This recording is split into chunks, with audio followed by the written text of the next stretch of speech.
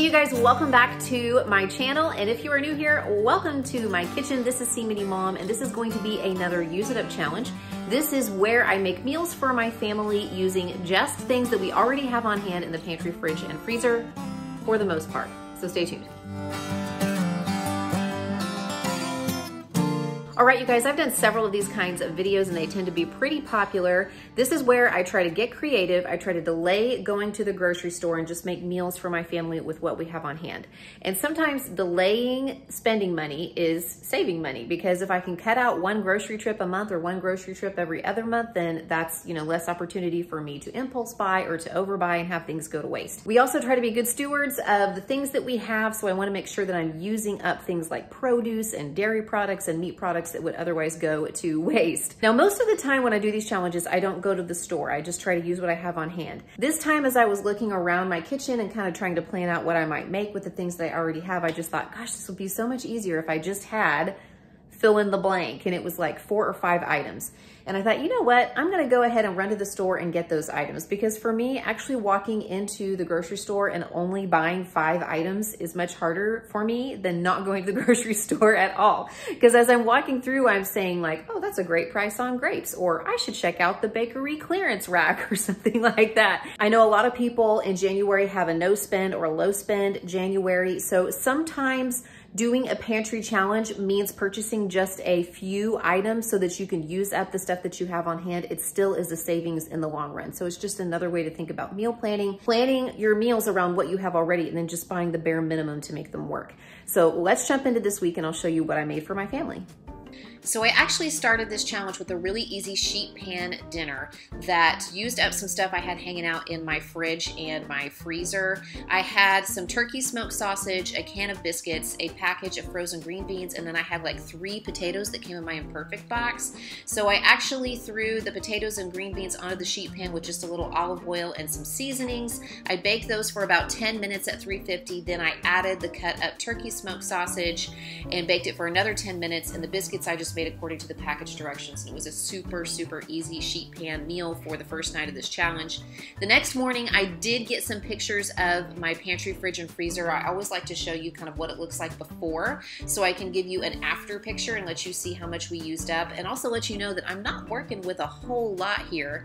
I mean, you can see that I don't have like a fully stocked pantry or a freezer and fridge to be sure. I mean, it looks pretty bare, but I'm still going to be able to come up with some meals. I also have just a handful handful of items in my chest freezer out in the garage, but really just some frozen vegetables and I think a package of turkey smoked sausage that you'll see here, but just some, you know, random items that I'm trying to use up. And these are the four items that I purchased at the grocery store to make this meal plan work. Some cheese, some celery, some Greek yogurt, and some chicken breast. On this night, I made a sausage and orzo soup using the crock pot, and it turned out wonderful. And actually, this recipe comes from my friend Carrie, whose primary website is eatingonadime.com. She has a very successful website, and she has a Facebook page, I think, with over or almost 3 million followers.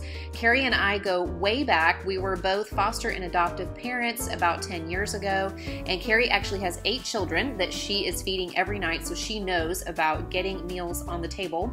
And she and her sister recently kicked off the Lazy Day Cooking Club, which is a service she provides where she and her sister drop 20 new recipes every single month that are not only crockpot or Instant Pot friendly, but they can be made ahead of time. I'm actually going to be filming an entire video dedicated to her service, so you're going to be hearing more about that. But in case you want to check it out early, I will leave a link in the description box below.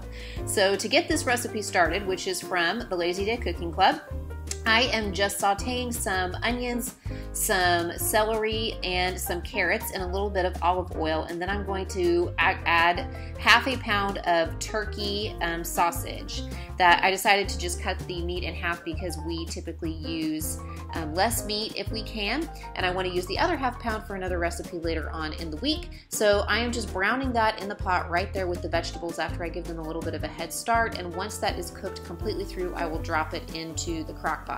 By the way, if you want that little meat chopper separator tool, I usually leave it linked in the description box below. It is from Amazon. So after I add that stuff to the crock pot, I'm gonna add just a few cloves of minced garlic, some Italian seasoning, some diced tomatoes, a can of diced tomatoes, and also just some fresh cracked black pepper. I'm also going to throw in a Parmesan rind that I've had in the refrigerator for a little while. You know, you get the wedges of Parmesan and the end of it is very hard and you can't really shred it. Well, it makes for a really great flavoring for soups and I just throw it into the soup while it's cooking. It adds flavor to it and then I take it out when it's done cooking. It's just a great way to use those if you have those from Parmesan rinds. And because I don't purchase broth anymore, usually I don't anyway, I'm just using a little bit of broth base and then I'm adding six cups of water. I turned my crock pot to high and then walked away and got busy doing other stuff. And I'll come back to it um, in just a minute and show you how I finished that out. I've had this bag of Rhodes frozen rolls in my freezer for a while. It was actually about half a bag, so I took them out and let them thaw and they rose a little bit. And I wanted to turn them into like some kind of garlic pull-apart bread. So I went ahead and just took the kitchen shears and cut these into small pieces. I think I got two or three pieces out of each roll. And then I dropped them into the Bundt pan and I poured half a stick of melted butter over the top. And I also had sprinkled a little bit of garlic salt into the butter and then I also added just a little bit of Parmesan cheese on the top. I just sprinkled just the grated Parmesan cheese from the refrigerator. And um, I covered these with a towel and then put them in the oven to proof for a little while. I wasn't sure if they were gonna proof up high enough, but boy, was I surprised whenever I took them out of the oven from proofing about an hour later. And they were definitely um, risen for sure. And they rose up nice and fluffy. So I put them into the oven at 350 and I let them bake until they were done. They came out just a little bit burned on the top, which you'll see in just a minute, but really they were they were delicious. So I'll report back to you here whenever you see the kids eating those in just a second. After my soup had been cooking for about two and a half hours, I added one cup of orzo. I do use whole wheat orzo when I can. I find mine at Sprouts, but regular orzo would work just fine. I left that on high and let it cook for an additional 30 to 45 minutes. It takes whole wheat orzo a little bit longer than regular orzo, but you can see it right here. So I just spooned that out into four little bowls because my husband wasn't here that night. He came home and had his later and said it was really, really good. In fact, he's eating the leftovers today as I am recording this. But I just added some freshly grated Parmesan, some freshly shredded Parmesan right there. And then here's a picture of the bread finished. As you can see, like I said, it's a tiny bit overbaked on the top, so I was worried. But the Munchkins ate this up. They absolutely loved it. They could not get enough of it. They loved dipping it in their soup. There was a little bit left over for the next day, and they came home from school and had it as a snack. So this meal was a definite win. And again, be sure to look for that video about the Lazy Day Cooking Club dropping soon. Good morning, everybody. It's morning here, and I was up and at 'em early, and I decided to throw something in the oven for breakfast for everybody. I've had these blueberries hanging out in my freezer for a few months now. They really needed to get used. So I saw an interesting recipe on Pinterest for something called a blueberry buckle and I'd never heard of that. And it's basically kind of a dense sort of blueberry cake with like a crumb topping. It was pretty basic, like pantry staple ingredients, you know, flour, sugar, milk. I did use a little bit of half and half watered down for the milk because we're starting to run low on milk and I didn't want to like use all that up. But it turned out fantastic. It is so good. I actually sent some um, with my daughter in her school lunch. She was packing lunch this morning, so she took a piece with her. My husband took some to work because he's having lunch with some friends. McKenna's back here behind me eating it up. and um, Brick is just coming downstairs to have his. I will leave that recipe linked in the description box below. It is from a website called afamilyfeast.com. So if you've got some blueberries and you have just regular like baking staples, um, you can make this. It was absolutely delicious. I'm just taking a break from housework for a little lunch. And this is my lunch today. I actually did a whole separate video about this lunch prep. I made five of them. My husband took three of them to work today, one for himself and two for friends he was having a lunch meeting with, and they all said it was fabulous. And it's really, really good. It is a cilantro lime rice with black beans and corn, some salsa chicken, and a homemade pico, and then some homemade Chuy's jalapeno dip, which I make a little bit healthier by making it with Greek yogurt. So if you're interested in seeing how I made this, then you can watch that video. I will leave a link in the description box below. He also took some of the blueberry buckle to work and he said everybody loved it. He had a leadership meeting this morning and everybody had a small piece because I sent about half of it with him. I had a piece of it for breakfast. It was fabulous. So definitely go and make that recipe and go check out this one. Tonight I am making sort of a tried and true favorite and one of those dishes that I almost always have the ingredients for on hand. The original recipe is called Old Fashioned Goulash. I will leave it linked in the description box below. I grew up calling this chili mac and I think some people even call it Johnny Marzetti. Is that what it's called? But anyhow, it's a really simple pasta dish. I am, of course, making some adjustments based on what I have. So in my pot, I already browned some onion, about half of an onion, a few cloves of garlic, and half a pound of Italian turkey sausage. I used the other half in the soup that I made in the crock pot the other night, so I had a half a pound left. So I'm only using half a pound of meat, which is fine. We're fine cutting back on the meat. Once that was cooked, I added half a tablespoon of Italian seasoning, a teaspoon of seasoned salt, one bay leaf, a can of tomato paste, just a small can plus two cans cans of water. And now I am adding some petite diced tomatoes, just one can. And then I am adding two cups or eight ounces of whole wheat pasta and three and a half cups of water. I'm gonna bring that to a boil and then I'm going to cover it, reduce the heat, and just watch it. As usual, when I'm working with whole wheat pasta, I feel like sometimes I have to add more water, just make sure that it's not burning. Um, and it should take about 15 minutes or so to cook completely, and I'll show you what that looks like when it's done and how I am serving that.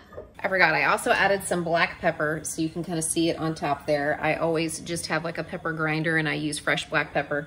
So I added some of that, and I wanted to mention too that I reduced the salt in this that the recipe calls for because I used sausage instead of just plain ground beef or ground turkey because ground sausage is already seasoned. And so um, I didn't want to go overboard with the salt because I can always add more salt later, but I can't take it out. And here is dinner tonight. I just made some steam in the bag broccoli to go alongside this. Actually, my husband made this because I was at baseball practice with Brick, so he and I are eating late. And normally I would do mozzarella cheese on this, but we didn't have any. We just have cheddar, so it'll do just fine. But that's dinner tonight. Tonight for dinner, I am making a chicken and orzo soup. So I will leave the recipe linked in the description box below. you talking? And um, I'm basically following the recipe, maybe with just a few minor adjustments. So in my pan right here, I have onions, carrots, celery, and garlic that I've sauteed in olive oil and a little bit of butter. And I added two tablespoons of flour and I just kind of whisked that around so that the flour would dissolve a little bit. I'm going to add four cups of water now to this. And then I'm going to put two of my frozen chicken breasts in here along with, um, I'll probably be generous. I'll probably do a couple of teaspoons of um, Italian seasoning, some salt and pepper, and a little bit of broth base. I'm gonna bring that to a boil until my chicken is cooked.